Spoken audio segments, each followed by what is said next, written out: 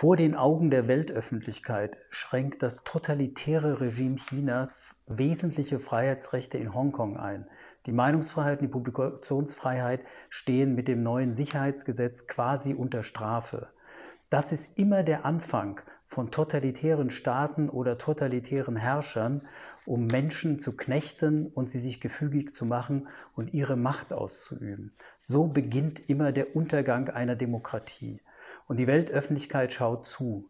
Wir müssen verhindern, dass so etwas weiterhin passiert. Und Hongkong respektive China ist ja nicht ein Einzelfall. Es gibt die Türkei, es gibt Saudi-Arabien, es gibt Russland, Belarus. Aber auch in Europa gibt es Schwierigkeiten mit der Meinungsfreiheit.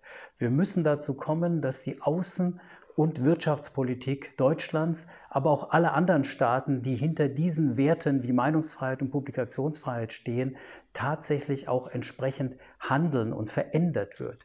Wir können nicht auf Dauer mit solchen Staaten Wirtschaftsbeziehungen unterhalten, so als wäre nichts geschehen. Und gerade die Wertegemeinschaft Europa muss sich da viel stärker zu Wort melden und auch mit Sanktionen gegen solche Staaten vorgehen. China exerziert das auf dem Festland in brutalster Art und Weise weiter. Der ehemals verschleppte Autor, Buchhändler und Verleger Gimin Hai beispielsweise ist jetzt zu zehn Jahren ähm, Haftstrafe verurteilt worden, obwohl er eigentlich nichts anderes gemacht hat, als seine Meinung zu nennen. Und deshalb möchte ich gerne aus Solidarität zu ihm, aber auch als Solidarität für die Meinungsfreiheit und für die Publikationsfreiheit ein Gedicht von Gemin Hai vortragen. Es heißt, Der Hase und der Krieg. Ein Krieg vom heiteren Himmel. Aus dem Einkauf zurück, schon verwickelt in Schuss und Feuer. Ohne Kriegserklärung. Der Angriff aus dem Hinterhalt traf mich in einem fremden Land. Die Rakete zielt auf einen Vogel. Das Kriegsschiff trifft einen Fisch im Fluss. Auf einer Seite Soldaten mit Waffen, auf der anderen Bücher und Skandale. Später hört man, der Grund sei, die Kriegsmaschine fühlte sich durch die Skandale bedroht.